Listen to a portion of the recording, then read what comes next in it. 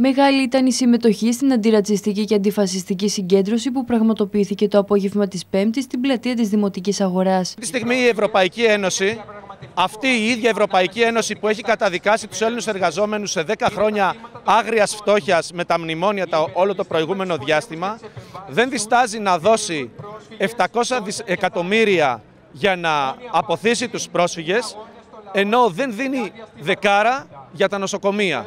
Αντί να δίνουν λεφτά για φράχτες, καλό θα είναι να δίνουν λεφτά για τα νοσοκομεία, για το σύστημα υγείας, για τις συντάξεις, για τους μισθούς των εργαζομένων.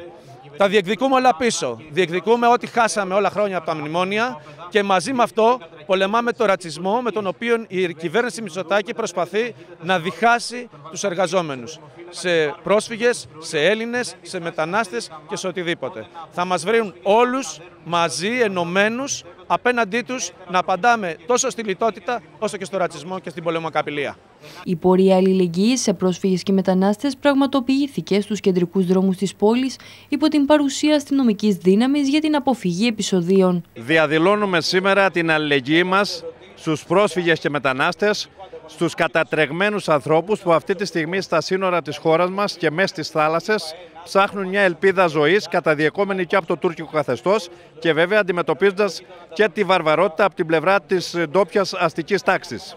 Η κυβέρνηση και το σύνολο του ντόπιου αστικού πολιτικού προσωπικού θέλει να κρύψει το γεγονός ότι είναι οι μεγαλύτεροι πυρέτες των υπεριαλιστών, των φωνιάδων των λαών, ότι έχουν κάνει τη χώρα μας ολάκερη μια βάση και αυτό που κάνουν είναι προσπαθούν να πείσουν το λαό ότι οι ένοχοι είναι οι πρόσφυγες.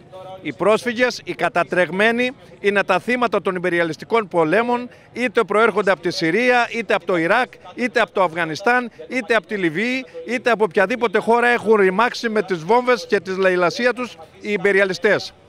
Η αλληλεγγύη στους πρόσφυγες συμβάλλει και βάζει παρακαταθήκες στην οικοδόμηση του μετόπου πάλι στο λαόν που είναι ο μόνος τρόπος για να μπει φραγμός στα δολοφονικά σχέδια των υπεριαλιστών που απειλούν όλους τους λαούς και το δικό μας λαό.